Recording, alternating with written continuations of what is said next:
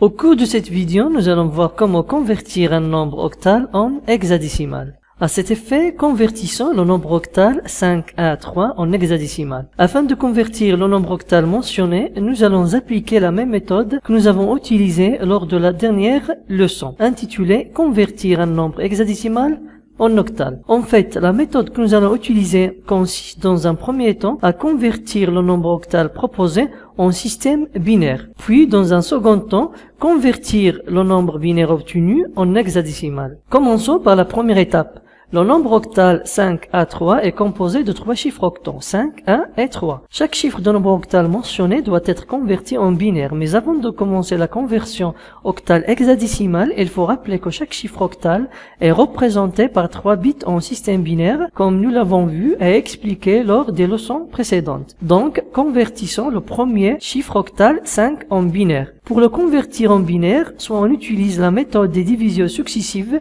ou bien on utilise le tableau des puissances de 2 que nous avons vu lors de la leçon intitulée Conversion décimale binaire.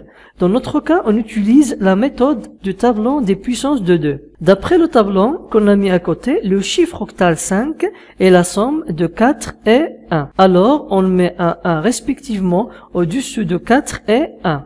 Quand on chauffe vide, on le remplit par un 0. Cela donne 5 en octal correspond à 1, 0, 1 en binaire. On continue de la même façon, le chiffre 1 correspond à 001 en binaire. Et puis, le dernier chiffre 3 correspond à 011 en binaire. Maintenant, on est arrivé à convertir le nombre octal 5 à 3 en binaire.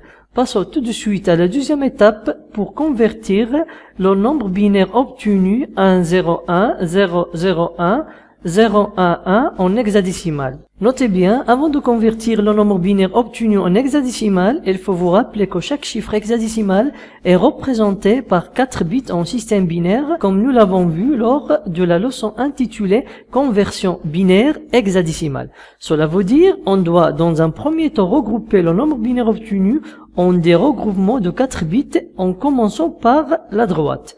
Ainsi, on compte 1, 2, 3, 4, on obtient le premier regroupement et on le sépare d'autres bits de nombre binaire.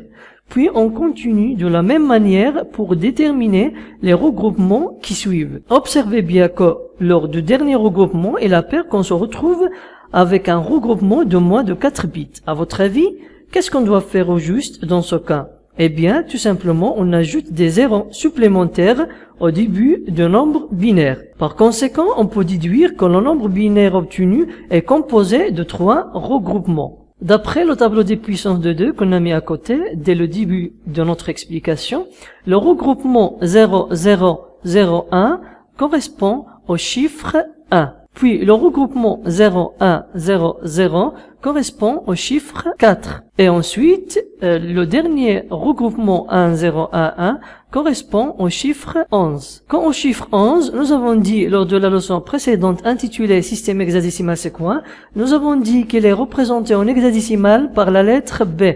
De ce fait, on le remplace par la lettre B. Et finalement, cela donne 5 à 3 en octal est égal à 1 4b en hexadécimal.